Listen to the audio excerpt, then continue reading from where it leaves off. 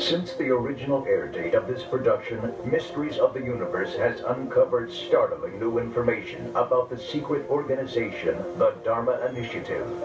We had told you the story of a school teacher from Portland, Oregon named Olivia who had taken a job offer and had mysteriously disappeared for three years. Since our broadcast, our investigative team has discovered that she has reappeared. A recent telephone call. Hello, may I speak to Olivia, please? This is she. Hello, Olivia. I'm calling with Mysteries of the Universe. I was wondering if I could ask you a few questions. What? This is Mysteries of the Universe. Several days later, our production offices received this written statement from the school teacher. During my absence, I was performing research in the South Pacific. I no longer wish to be contacted regarding this matter. Thank you. Once again, the South Pacific appears as a character in this ongoing investigation. Did Olivia return at just the right time to save her life?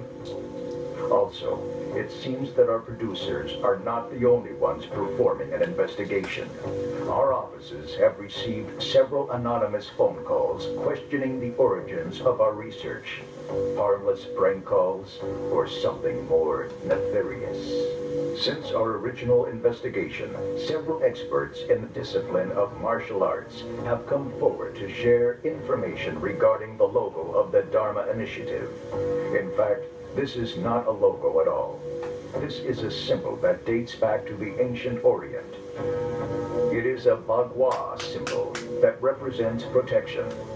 Each side of the octagon represents opponents.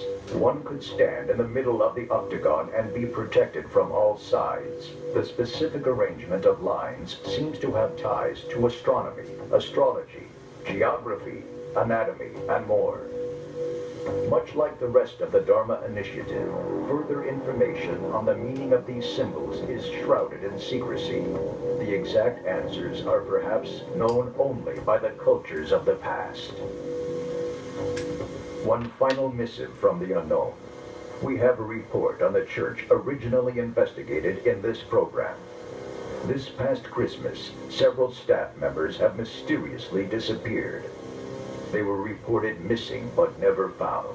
Mysteries of the Universe launched a follow-up investigation to see if these staff members disappeared to the South Pacific. Close analysis of the church's waste receptacles revealed this. A partially destroyed document with a charred logo similar to the other logos. But this one had a lamp in the center. Coincidence? Public records show that the newly appointed general manager of the church is